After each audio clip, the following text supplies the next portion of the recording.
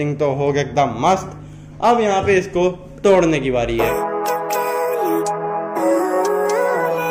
Hello guys तो फिर कैसे हो आप लोग? आई होप एकदम बड़े एकदम मस्त होंगे। एंड वेलकम आपका हमारे कोर्ट आज फ्रेश ब्लॉग के अंदर भाई साहब, आज का ब्लॉग भी हमेशा की तरह काफ़ी मज़ेदार होने वाला है। तो जैसे कि आप लोगों को याद होगा कि मैंने यहाँ पे कुछ दिन पहले मतलब कुछ दिन नहीं, काफ़ी टाइम पहले मैंने यहाँ पे ये वाला एक पेटी बनाई थी, जिसके अंदर 10 इंच और 8 इंच वूफर लगा रखा है। और ये जो 10 इंच का वूफर है, ये भी हमने खुद रिपेयर किया था, क्योंकि ये खराब हो गया था तो मैंने इसको सही कर दिया। और इसका सही करते हुए ब्लॉग में मैंने बनाया था कि किस तरीके से आप 10 इंच का वूफर का पर्दा डाल सकते हो। तो ये तो मैंने आपको सही करके दिखा दिया था। ये जो 8 इंच का वूफर है ना ये भी हमने खुद, मैं इसको कबाड़ में से लेके आया था, इसको भी मैंने खुद रिपेयर किया था। इसका सही करते हुए का ब्लॉग ब्लॉग नहीं, इसका सही करते हुए का वीडियो मैंने अपने मेन चैनल के ऊपर आज से करीब दो साल पहले डाला था। जी हाँ गई मैंने फ़र्स्ट टाइम इस वाले वूफर को रिपेयर किया था। आज से पहले मतलब इससे पहले मैंने कोई भी वूफर स्पीकर का पर्दा नहीं डाला था।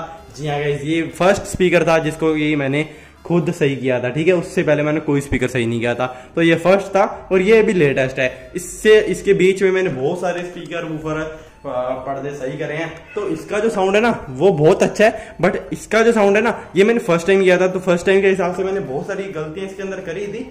और आज मतलब उन गलतियों का मतलब जो है ना प्रॉब्लम ऐसा है कि अगर आप कम बेस रखोगे तो बढ़िया आएगा। तो अगर ज़्यादा बेस रखोगे तो साउंड थोड़ा सा बेकार सा आने लगता है। तो ऐसी हमने कुछ गलतियाँ की थी। तो वो कौन सी गलतियाँ हैं जिनको आप अगर आ, नहीं करते हो तो साउंड काफ़ी अच्छा आएगा ठीक है? तो आपको वो गलतियाँ नहीं करनी है मैं आपको बताऊँगा क्योंकि मैंने ऑलरेडी काफ़ी सारे स्पीकर वगैरह रिपेयर कर रखे हैं। तो चलो फटाफट से जो ना मैं इसको निकाल लेता हूँ बट उससे पहले इसमें आपको एक बार इसको चला के भी दिखा देता हूँ जिससे आपको ये पता चल जाएगा कि हाँ सच में ये खराब है। मतलब खराब नहीं है इसका बेस ज़्यादा करने पे फटने लगता है।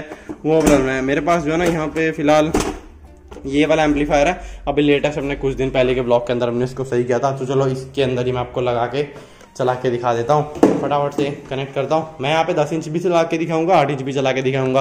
तो दोनों के बीच का आपको कंपैरिजन पता चल जाएगा कि बेस इसका अच्छा आ रहा है, इसका बेस अच्छा नहीं आ रहा। तो गैस मैंने फटाफट से सेटअप कर दिया। देखो यहाँ पे आ, इसको चला रहा हूँ मैं बारह वोल्ट के अडेप्टर से। इसको चलाने से पहले मैं आपको एक चीज़ बताना चाहूँगा कि ये वाला एम्पलीफायर मैंने खुद बनाया है और ऐसा बनाया है कि इसके अंदर दो चैनल है तो एक चैनल के ऊपर सिर्फ़ बेस आता है दूसरे चैनल के ऊपर सिर्फ़ आवाज़ आता है। तो मैंने अभी ये जो दस इंच का वूफर है ना ये ऐसे चैनल के ऊपर लगा रखा है उस चैनल के ऊपर लगा रखा है जिसके अंदर सिर्फ़ बेस आता है। तो इसका फ़ायदा ये है ना कि मैं आपको बेस के सिर्फ़ बता रहा हूँ कि बेस का प्रॉब्लम आ रहा है, ठीक है? बेस ज़्यादा आ रहा है ना तो ये जो वूफर है, ये फटने लगता है। क्योंकि ये मैंने फ़र्स्ट टाइम सही किया था। तो फ़र्स्ट टाइम के हिसाब से मेरे को अच्छे से पता नहीं चलता था कि मतलब कैसे करना है। तो मतलब कुछ प्रॉब्लम होती है जब हम कुछ भी काम को फ़र्स्ट टाइम करते हैं तो प्रॉब्लम तो आई तो अभी मैं आपको बताने वाला हूँ, इसके अंदर और इसके अंदर क्या डिफरेंस है। तो उसको मैं बताने के लिए यहाँ पे फ्रीक्वेंसी जनरेटर यूज़ करूँगा। इसके अंदर क्या है कि आपको फ्रीक्वेंसी अलग अलग पे दिखाऊँगा, ठीक है? पहले आपको यहाँ पे अप्रोक्स ये सत्रह दिखा दो, सत्रह हार्ट्स की फ्रिक्वेंसी देखो यहाँ पे। ये देखो भाई साहब। ये वाइब्रेट कर रहा है, आवाज़ बढ़ाता हूँ, देखो।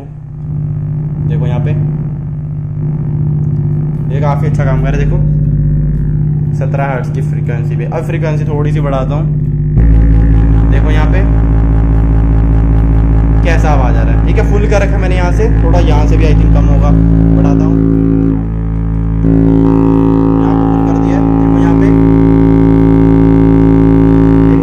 अभी चल रहा है थ्री हर्ट्स की फ्रीक्वेंसी पे। देखो यहाँ पे। थोड़ा सा बढ़ाता हूँ। देखो यहाँ पे एकदम ओके है। चलो, अभी मैं आपको ये वाला दिखाता हूँ, फिर आपको पता चलेगा कि क्या डिफरेंस है। मैंने जो ना यहाँ पे 10 इंच के बजाय 8 इंच वूफर कनेक्ट कर दिए और चलो, अब प्ले करता हूँ वही फ्रीक्वेंसी को आठ हर्ट्स की। इसके बाद आपको बढ़ा के दिखा दूँगा। वॉल्यूम प्ले मतलब बढ़ाता हूँ। देखो यहाँ पे किस तरीके का साउंड आ रहा है। अभी यहाँ पे थोड़ा सा वॉल्यूम बढ़ाता हूँ। देखो फुल कर दिया है। देखो यहाँ पे। तो देखो यहाँ पे एकदम ओके है। देखो यहाँ पे कैसा फटफट फट सा आवाज़ आ रहा है। ऐसा नहीं आना चाहिए। ठीक है? ये देखो। अब यहाँ पे थोड़ी सी फ्रीक्वेंसी बढ़ाता हूँ।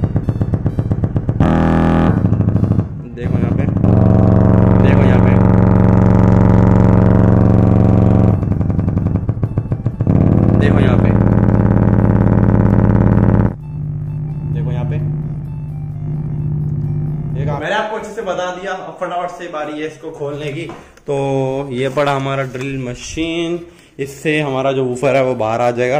तो इसके अंदर मैंने चार स्क्रू लगाए थे। एक, दो, तीन, चार। ठीक है तो फटाफट से इसको खोल दो। ये तो सही, एकदम मस्त है। इसको खोलते बाहर लोग टाइम लैप्स एंजॉय करो।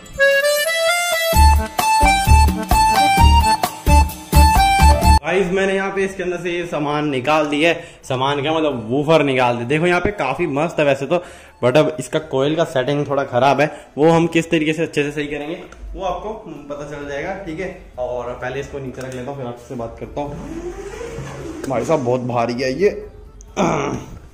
तो इसको इसके ऊपर रख देता हूँ, ठीक है? और मैं सोच रहा हूँ इसके अंदर जो पर्दा है ना, वो भी पेपर कोन वाला डालूं, ठीक है? पेपर कोन वाला इसके अंदर डालूं और क्योंकि ये रबड़ वाला जो ना, वो अगर आपकी कोयल बड़ी है, तभी बढ़िया काम करता है। वरना अगर आपकी कोयल छोटी है, मैगनेट छोटी है तो भाई साहब क्या है कि ये थोड़ा सा भारी रहता है तो ऊपर नीचे होने में थोड़ा प्रॉब्लम आ जाता है, क्योंकि मैगनेट और कोयल छोटी है। बट अगर आप मैगनेट और कोयल थोड़ी बढ़िया लगाओगे, ज़्यादा बड़ी साइज़ की है, ठीक है टू टू लेयर है तो बहुत अच्छा आपको मतलब साउंड देगा अगर आप रबड़ वाला यूज़ करते हो। ठीक है तो चलो, यहाँ पे पेपर को हम इसके अंदर डालेंगे बट फिर भी मैं ध्यान रखूँगा मतलब कोशिश करूँगा कि ये फटे ना, हमारा किसी और काम में आ जाए तो फटाफट से इसको निकालने की कोशिश करते हैं, आपके सामने निकालूँगा, फटाफट से ट्राईपोड पे लगाता हूँ मोबाइल अब इसको निकालने का चालू करते हैं मतलब कोशिश करते हैं कि ये फटे भी ना मतलब खराब बनाओ और निकल भी जाए। वैसे तो मैंने ग्लू इसके अंदर काफ़ी तगड़ी लगा रखी है, भाई साहब, ये फट के निकलेगा, लग रहा है। तो भाई साहब, ये आराम से फट जाता है ठीक है? ओ भाई साहब होगा कांड। तो चलो भाई साहब यहाँ पे कट कट लगा हुआ था जैसे मैंने इसको खींचने की कोशिश की। ये फट गया। चलो हमें तो नया ही लगाना है तो इसकी बजाय दूसरा कागज़ वाला लगाएँगे। देखो फट गया। भाई साहब बहुत तगड़ी ग्लू से चिपका रखा है। गया। देखो आपको ग्लू से पता चल जाए कितनी तगड़ी ग्लू लगाई थी। और यहाँ पे इसको भी हटा देता हूँ।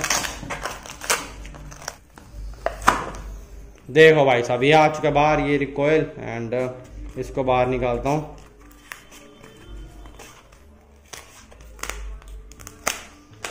एंड ये रहा हमारा स्पाइडर देख सकते हो काफ़ी हालत ख़राब हो रखी है। और इसको भी निकाल देता हूँ।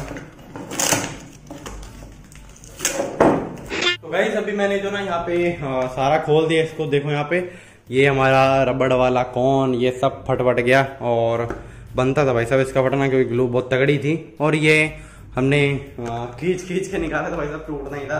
अगर कुछ केमिकल वेमिकल होता तो आराम से टूट जाता। क्या कर सकते ऐसे ही आ गया। तो ये पड़ी भाई साहब हमारी कोयल और इसी कोयल के द्वारा मैं आपको बता भी दूँगा थोड़ा बहुत कि किस तरीके से लगाने से आपका साउंड अच्छा आएगा बेस फटेगा नहीं बेस अच्छा आएगा, या फिर जो भी है बेस ज़्यादा आने पे आपका साउंड बेकार नहीं आएगा। तो वो किस तरीके से? और मैं आपको एक चीज़ और बता दो कि मेरे बताने से कुछ ज़्यादा आपको अच्छे से पता नहीं चलेगा जब तक आप उसका प्रैक्टिकली घर पे कुछ वूफरों के ऊपर, कुछ सब वूफरों के ऊपर ट्राई नहीं करते, ठीक है? जब आपने दो तीन वूफर स्पीकर सही कर दिए ना तो आपको बहुत अच्छे से पता चल जाएगा कि हाँ किस तरीके से इसका मामला है, ठीक है? तो चलो, मैं आपको फिर भी थोड़ा बहुत बता देता हूँ। जब हम इसको ज़्यादा नीचे तक करके फिट करते हैं, इसके ऊपर स्पाइडर वगैरह, ये पर्दा वर्दा डालते हैं तो ऐसा क्या है कि जब बेस ज़्यादा आएगा तो पर्दा ऊपर नीचे ज़्यादा हिलेगा वाइब्रेट ज़्यादा होगा तो उससे क्या है कि ये जो कोयल है ये नीचे में टकराएगी जिस वजह से बेस खराब आने लगेगा ठीक है? ये टकराएगा ऊपर नीचे टकराएगा तो फटफट का आवाज़ आएगा जैसे कि अभी आ रहा था तो और भी ज़्यादा खराब आवाज़ आएगा। अगर आप इसको ज़्यादा ऊपर कर देते हो तो भी गई आपका